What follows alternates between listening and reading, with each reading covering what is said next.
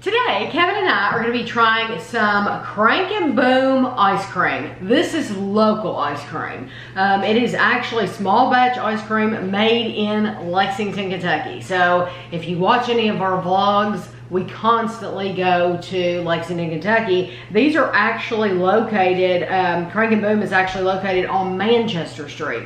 So um, some people like to get an idea about the side of where we're, we're talking about. We've taken you to the Lexington Cemetery before and showed you how beautiful it is. Manchester Street runs alongside of where the, the Lexington Cemetery is. So easy to find.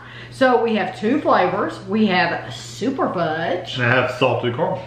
So we bought both of these at Whole Foods. They were $7.99, so $8 for one pint, but it is a locally Local. owned, so I expected to pay a little bit more. Um, but I think we bought four containers. We did. So we will be doing another review of these, but this is our first time ever trying Crank and Boom.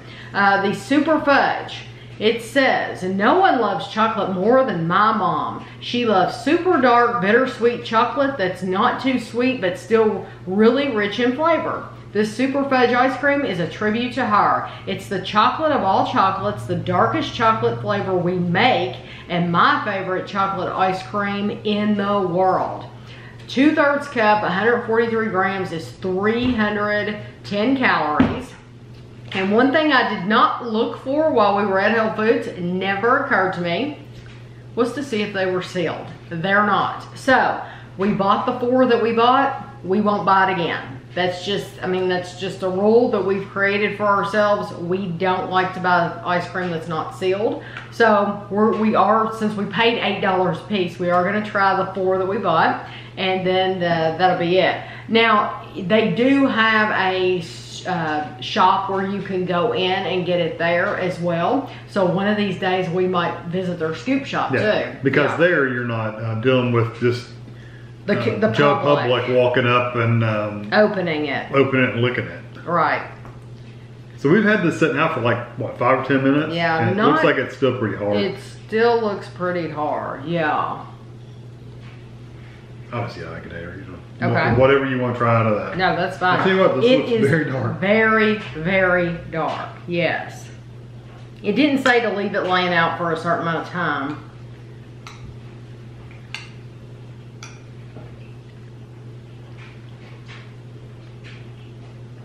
Hmm. Yeah, this is a good chocolate ice cream. Wasn't there a Judy Blume book called Super Fudge? Yeah. Wasn't his name Fudge? They called him, his friends called him Fudge yeah, or that, something. that was her friend's name. Yeah. Yeah, I read those books. It's just been a long, long, long, long, long time ago. Very cold. Mm-hmm. Ooh, almost painfully cold. That, It's good. I like it. even though they described it as being super, super dark, it is not bitter. Mm-mm. I don't really get. Well, there's still a little bitterness, but it's not a lot. But it's, it's, it reminds you of, you know what that would be good with? What? A piece of white ice cream birthday cake. Mm. Not ice cream cake. That ice cream would be good with a piece of white birthday cake to help offset that that chocolate flavor. to Have that vanilla flavor from the birthday cake. That'd be really good together. it reminds you of a classic fudge flavor, honestly. If you've ever had um, a fudgy dessert, that is it. it's good. But it Wow. is very, very delicious. Mm hmm And it's not super super sweet either. So No, no, I, I, you could eat a lot of that I know. because it's not too sweet. I like that. Okay, so now this is the salted caramel. salted caramel is one of my most favorite things in the world. In sauce form, candy form, and especially ice cream form. We make our own salted caramel slow and steady over the stovetops, t- stovetop and mix it into our creamy ice cream base. The result is one of the best salted caramel ice creams you've ever had. My favorite thing to do is to add this flavor to a double shot of espresso. This is two thirds cup, 330. What was that one? This one was 310, so this one's more, 20 calories more. Well, they said that wasn't super sweet. So. And now we know it's not sealed. Okay. Although you would think you would know that if you would, you'd be able to tell because it's stuck. But you never know. But a lot of ice cream say that I know. too. So They say that, oh, but you could tell, but I don't know. If somebody just licked it, I don't know if you could tell. I know. Or coughed on it. You should definitely couldn't tell if they just went on it. I trust, you know, it's not that I don't trust the company. I don't trust the people in the store. Exactly. Mmm. Oh my goodness. It's got a good saltiness to it. That's incredible. That reminds me of uh, candy that we've had. Mm-hmm. It's a pretty salty caramel. Matter of fact, it's got so much salt in it that it almost seems not quite as sweet. It doesn't seem any sweeter or less sweet than the, the fudge does. And just so you know, this is already starting to melt in the bottom of this bottle. Yeah, once you get it out, it goes pretty quick. Right. This As I notice the lids are starting to melt. Is so rich It's very rich. full of flavor. I love salted caramel. That might have a touch too much salt for me. Just a, just a smidge. I think that's some of the best salted caramel I've had. It's it's very good. Because they did do it right. They did put the right amount of salt. The caramel, I'm telling you, this reminds me of um, some candy that we've had like um, from the UK. Yeah. Because it's so rich and so full of flavor. It's good. You know what? Um, now that I'm going back to that, I tried another bite of that fudge. hmm If you've ever had a fudge pop on the stick, Right? that's what that flavor reminds me of now. Yes. I was trying to think of what that flavor reminds me of. If you ever had a fudge pop, this is a much richer texture and flavor, but it does remind you of a fudge pop, that kind of chocolate flavor. Right. This is really good. I like both of them. Honestly, it's one of those things where I'm not going to pick a favorite because they're both equally good. Just depends on what kind of flavor and what taste you like.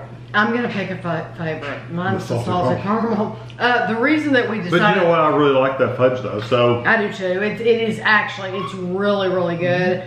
I just could eat this whole thing of salted Yeah. caramel though. I couldn't is very devour it all. Um, and the reason that we decided to try some local brands is because I had some, um, several people ask me, I think you can order ice cream online. There's a shop that sells, uh, it's like icecream.com or I don't, don't take my word for it, but there is a, a place that sells ice cream and you can order it online. Yes, it's expensive, but they sell all different kinds and you can get it to your front door. Crank and Boom might sell it directly though. Crank, Crank and Boom might sell it directly. I don't know. Yeah, you have to Um, look.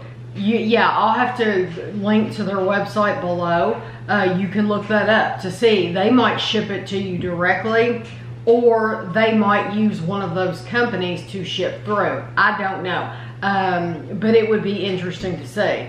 This ice cream specifically wasn't the one that somebody asked me about, but when I saw it, I definitely wanted to try it because I've heard about them for a while and I've heard it's really good ice cream. Andrew had it years ago and he's, you know, absolutely loved Well, it. Well, they bought their um, their gas, um, like uh, propane or whatever they have. Um, they bought it from them, Mm-hmm. probably to keep it cold. Probably the stuff with the cold coolers or something. But they used to buy their gas from them, so they give them coupons all the time.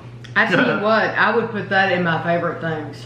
Because The pile. Yes, because I, It's it's, good. it's that good. It's good enough I would want to get it again and again. Love it. So I hope you enjoyed the video. I'll get a close up for you of each one of these, although they're they're both uh, uh, solid colors, but I'll, I'll get a picture of them for you. And thanks for watching.